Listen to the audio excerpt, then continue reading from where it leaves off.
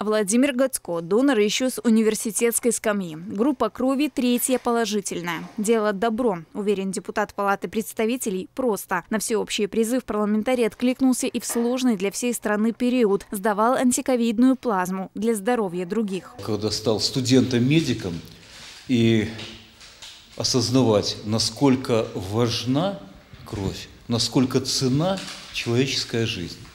И, безусловно, я отождествляю, донорство – это помощь. Это важно. Это один из элементов э, национальной безопасности страны. Совершить тихий подвиг просто. Достаточно сдать анализы, пройти осмотр врача и регистрацию. При оформлении понадобится паспорт, а для тех, кто впервые, военный билет при его наличии, выписка из медкарты, результаты ЭКГ и флюорографии. Плюс женщинам нужна справка от гинеколога. Перед донацией обязательно нужно заполнить анкету. Здесь указываются персональные данные, аллергические реакции, сделанные ранее прививки и перенесенные заболевания заболевания. Процесс занимает всего пару минут. Кровь сдают натощак. За одну процедуру берут 450 миллилитров, поэтому после обязательно нужно подкрепиться. В наборе, который выдают каждому, сок, вода, печенье и зефир. К слову, на донорском учете здесь состоят без малого 2000 человек. Противопоказания могут быть как абсолютные, то есть человек ни при каких обстоятельствах и условиях не может быть донором. Это наличие инфекционных заболеваний, гепатиты вирусные,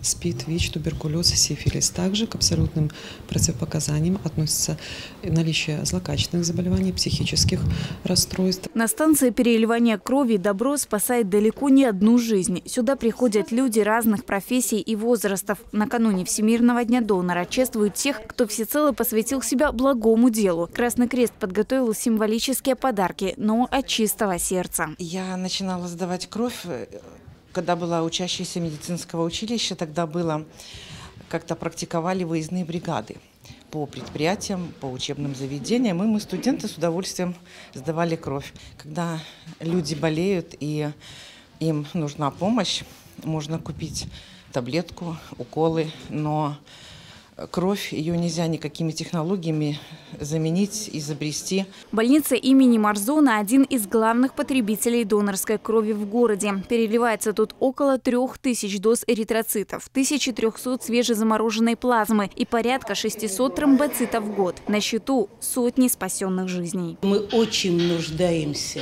в привлечении к донорству молодых, здоровых родственников наших пациентов очень большое количество лиц преклонного возраста, которые поступают к нам с тяжелыми анемиями, различные этиологии, различные причины, которые нуждаются в донорском даре.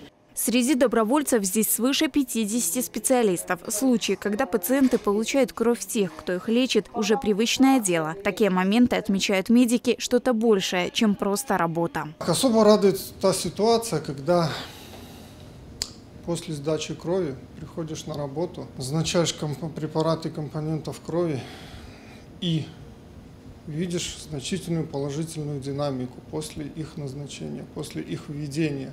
Самая редкая группа – четвертая. Она считается универсальной. Всего в стране порядка 68 тысяч почетных доноров. В прошлом году кровь сдали рекордное количество белорусов – почти 102 тысячи человек до 60 лет. Но возраст планируют увеличить до 65. Плюс новый законопроект не допустит снижения выплат. Все привилегии сохранятся. Этот вопрос и стал основной темой круглого стола в Центральной больнице. Ольга Васенда, Максим Галеонко, Бобруйск, 360.